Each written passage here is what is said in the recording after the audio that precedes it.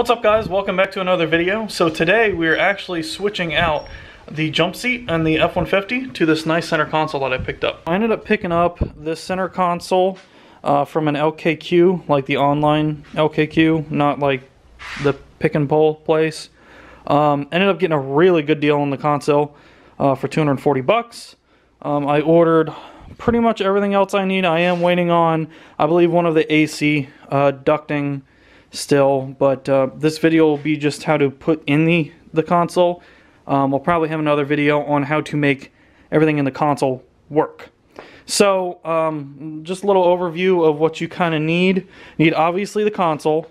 Um, these trim pieces actually come off. So um, some people will get them, some people won't. Mine obviously came with them. Just kind of look around. Mine came with the column shifter, which I'll eventually be replacing that. Uh, for now, it's just going to stay in the truck. Um, of course, what they do is they just cut the, the cable. Um, this is part of the ducting for the rear AC. Um, this actually goes to your SYNC, apparently. I had to ask people online what that was. Um, same thing, this is a USB. Um, but the other panel over here, this is your main connection. Um, it actually connects under the passenger seat. All of the trucks have this, I believe including the XL trucks. Um, so they just cut the wire, so we need to pull that plug out. I already have this plug in my truck. There's bolts there. There's four bolts in total. Um, I will go over that when we get going. I do not have the 110 uh, in my truck, so that won't work. I might switch it and gut it out and put another uh, 12 volt plug or something. It does have one 12 volt plug. It's got the back AC vents, the cup holders. It does have all of the uh, pieces in here. Apparently, we can switch this out with the one that's in the factory, um, my factory truck. Um, so these, this panel just pops out. I've already tried. Uh, another outlet here.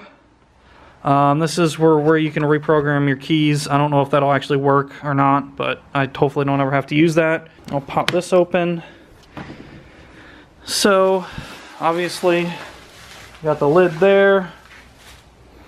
Uh, inside, this, this thing is absolutely freaking huge. Oh, I didn't even realize there's a light here, too.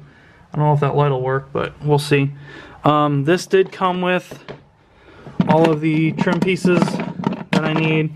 Um, all of the, like the little rubber that goes up here and uh, whatnot, as well as the little bottom things for all the cup holder stuff.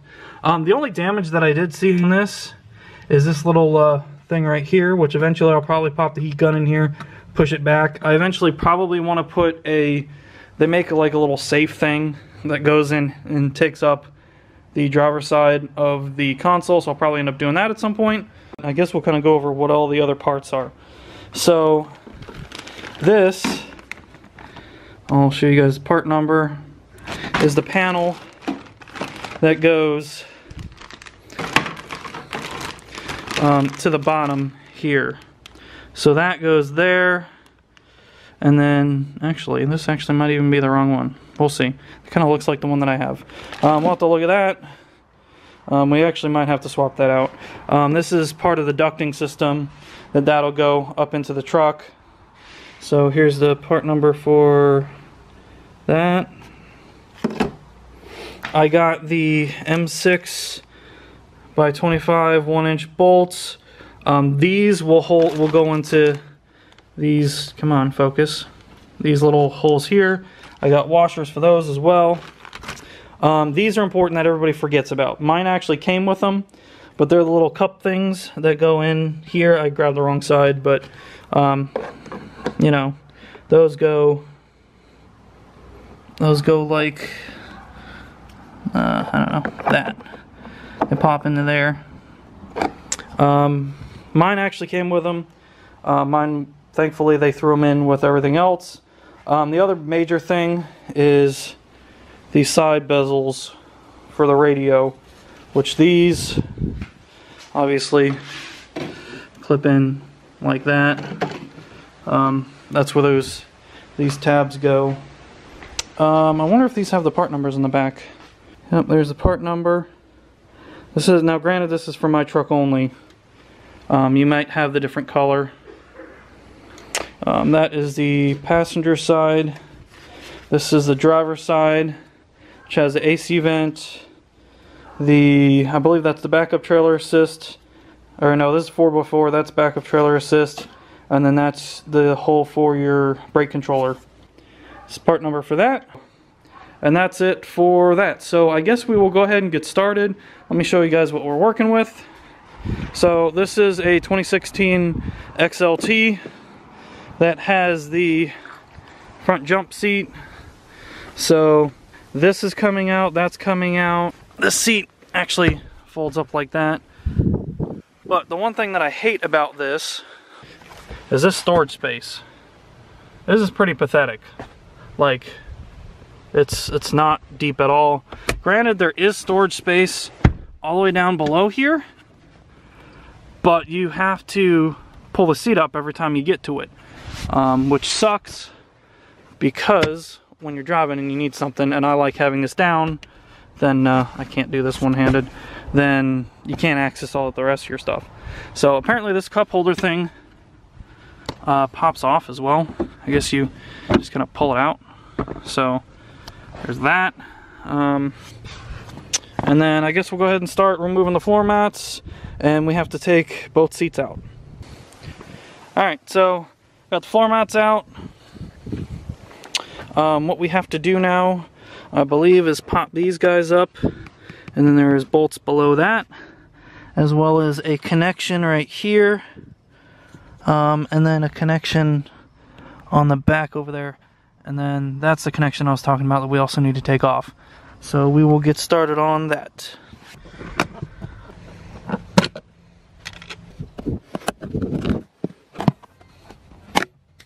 Alright, so 13 millimeter socket. Let's see if I can break them free with this little tiny, there we go.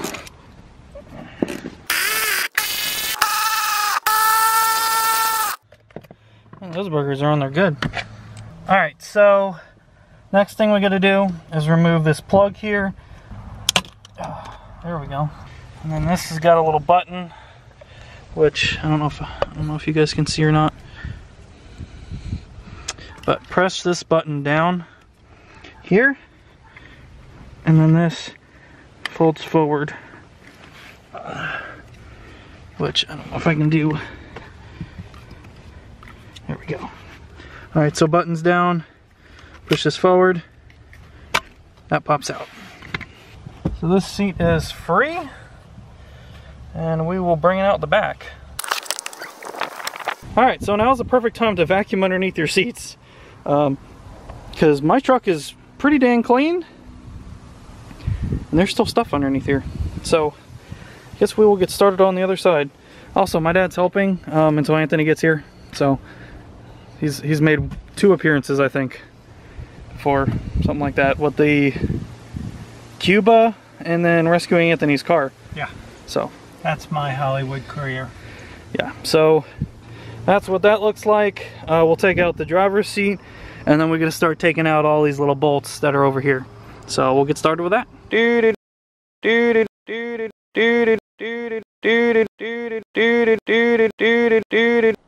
Shark in the water. You don't like my shark? well, let it do. oh my god. Alright, seat goes backwards again. Got it. So that's out.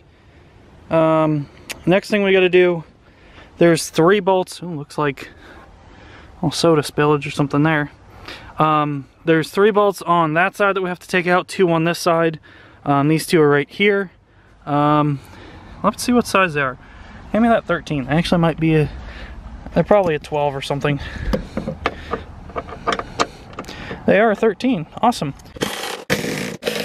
It's gonna be a really long video of Anthony having to edit stuff. All right, so let's go ahead and get this plug off real quick.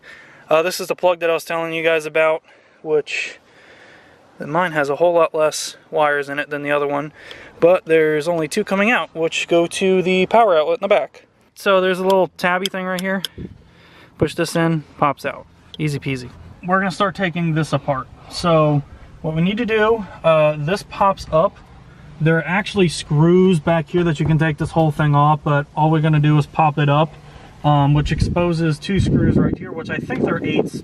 Um, we'll see in a second, that we can take this whole front um, radio face off. And then we have to take um, this thing off too. Be careful with this, this is actually kind of fragile. Um, so we'll just pop that up and then uh, I'm gonna reposition.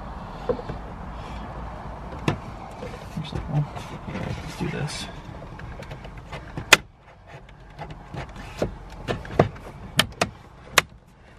Come on. Come on. There we go. And I just popped this one back down. Awesome. Okay. So that's up. Um, then we have these screws right here, which I don't know if you guys can see or not. These are sevens. So take this guy out. What I usually do, don't pull up really hard, but I just do enough. I can fit this in there. Take this off. All right, so now we got these two screws off. We can just grab here and pull slightly. There we go. And this whole thing comes off. Um, probably what we'll end up doing, just for ease of use, is take these plugs out. There's two plugs up here and then two plugs in the back. We can pop off. There we go. All right.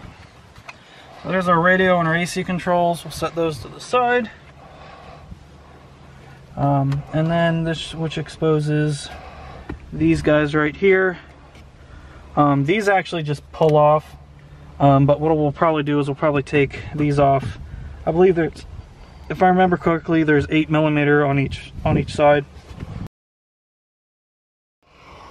All right, so next thing we're gonna do, we're gonna take off these. These are actually sevens as well.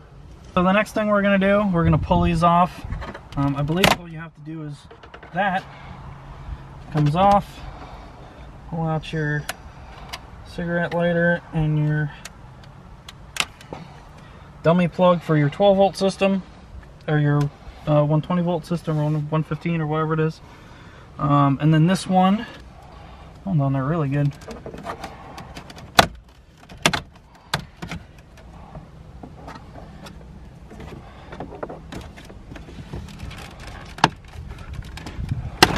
Ah, there we go. All right, so take off this plug, that plug, which look identical. So the purple wire, um, the one with all the purple wires is the top one. And then the one that's wrapped in the green is your backup assist. Yeah, two tens on each side.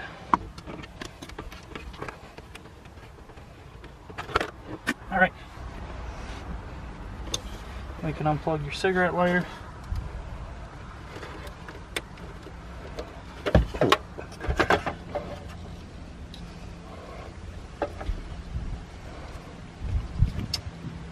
Pull those two tabs like open and then it pops out because there's little hooks there. So, all right, that's actually a heavy piece for what it is.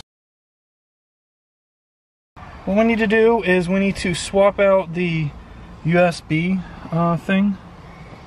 So I just unplugged these wires. This is for the ambient lighting, which we might end up wiring in some way at some other time.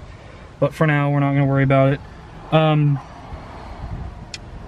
so, I need to pop this guy out.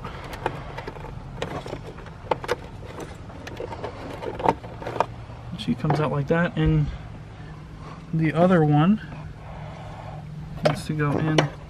Is that right side up? I think so. Okay. Yeah. That goes up. This piece can come out because we can't use that. I guess what we can do is we can probably plug this in real quick and see if it works. I mean, see what works and what doesn't, right? You can try. Alright, that's plugged in. We've actually found out that all of the cigarette lighters work with just a plug over here. Um, the, the cigarette lighter plug from that was before, which is right here, doesn't need to be plugged in. So, um, what we got going on? That works. That one works. Oops. And that one works. Obviously this doesn't work because we don't have the power inverter. The power inverters actually go right here. But I don't I don't think I'll ever add that. Um, so that's actually more than I thought that was gonna work. Um, what we ended up doing, we swapped our the stock USB thing here. Um, because that's that'll obviously work. We'll just have to scoot it up forward and plug it in. Um, so yeah. this is working out better than I thought it was going to. Um, so I guess what we'll do now is um, scoot this up, plug this in, um, and then we can start bolting this actually in. So what we're gonna end up doing, I'm gonna leave this here for now. Um, just as, because obviously I wanna keep the column. Um, just for now. And then um, I'll probably order either the piece that replaces this because this whole thing lifts up without having to take the console off. Um, or um, I'll replace it with the F250 one that has the sliding cup holders. I don't know what I'm going to do yet, but this is actually working out better than I thought it was going to. Um, obviously the ambient lights, there's little lights in here, and then there's a little light up here. Those don't work. If we want to get crazy, all we got to do is um, figure out which pin they are, and then we can add maybe a. Uh, I was thinking they'll probably stay on constantly with key on power. So maybe we can splice into that 12 volt outlet and then um, splice or um, pin the uh, pin here and then we actually might be able to get those to work too. So it's actually pretty, there's almost everything works, which is awesome. Um, the AC, so we've decided for now just to leave the floor AC the way it is and not try and pipe the other one in because I was missing the 90 degree bend like I mentioned earlier in the video. I don't know if I'm gonna actually do that or not. Um, I mean, I might just have the AC vents just for looks because um, that's a lot of work and we have to pull a carpet up and all that crap just for the AC to blow out here rather than like right there. So, um, yeah. Um, what we have to do, these side pieces actually go in first um, because this little tab right here goes into that little piece right there. So we'll go ahead and put these side pieces on real quick. Don't let me forget to hook the USB up because that's going to be a royal pain in the ass, but the thing has to be scooted forward um, to do. So let's plug that guy in.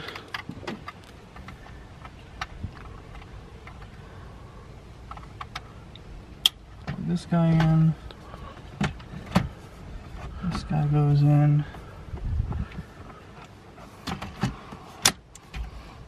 Like that. I missed the hole. Awesome. Jesus. That hurt. There we go. You got it. Alright, so that's in. Those are plugged in. This is gonna be the fun one. This one's got all types of crap. Um,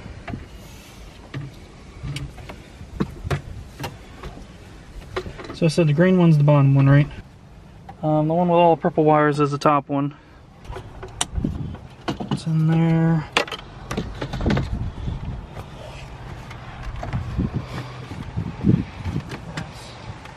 make sure you guys look for the, the bottom clip down here because that won't always line up when you try to put it in.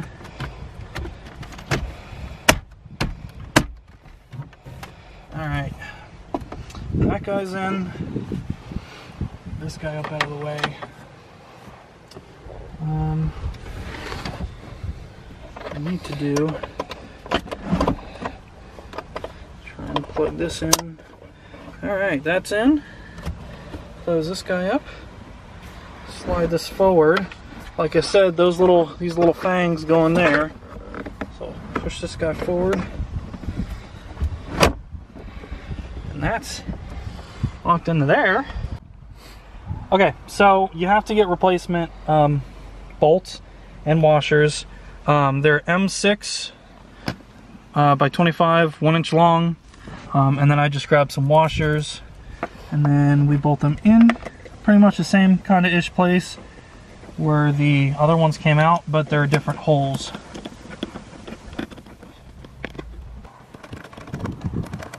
All right, and then we do the same thing on the other side.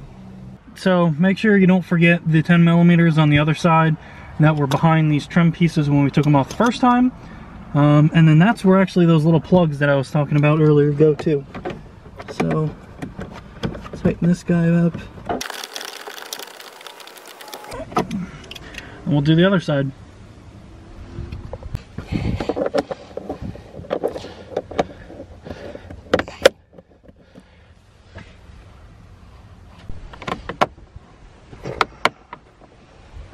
All right, so those were the that's where those plugs go.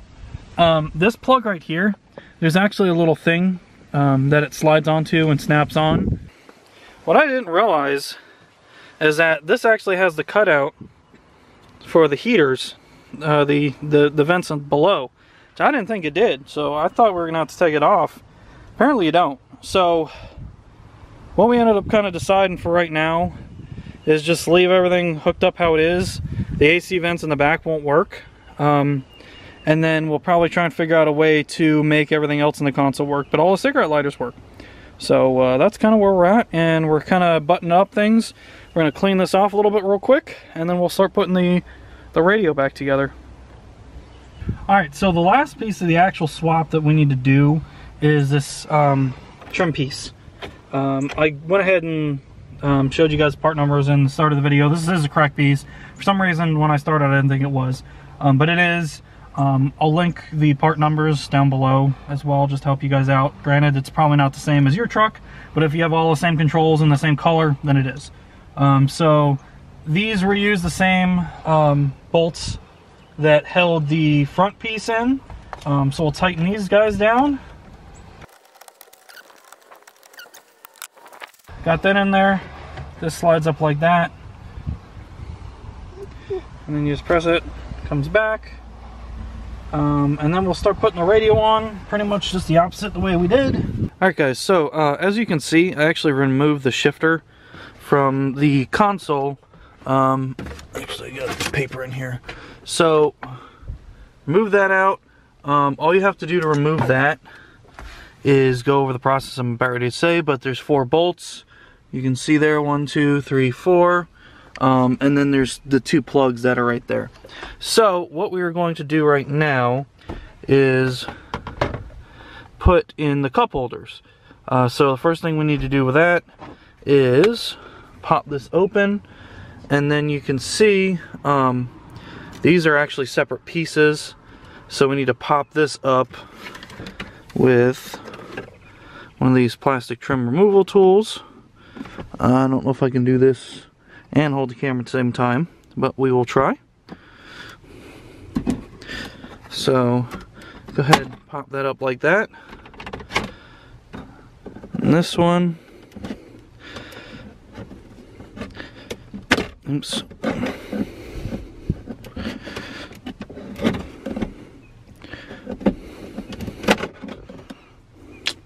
See if we can work this over maybe.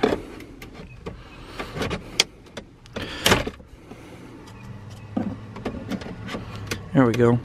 Pop that up like this. So there's a push pin there, push pin there. Then we lift up.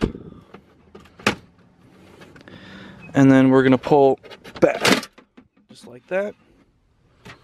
And this lifts off like that. Set that off to the side. Um, this pops down in here. As you can see, it's got all the little tabs. Goes in there. So, pop that guy down in there. Um, same screws that you had before. They're right there. So, put this guy in there. This is a T15 Torx, by the way. So you have to take those two out when you're removing the old or the um, you have the center console style shifter.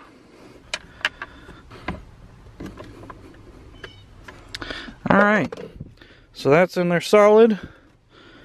Um, and then we can put back on this piece. So, these have little uh, pieces that slide in on either side. Uh, so it goes forward into a track, pops in like that. This one, same deal.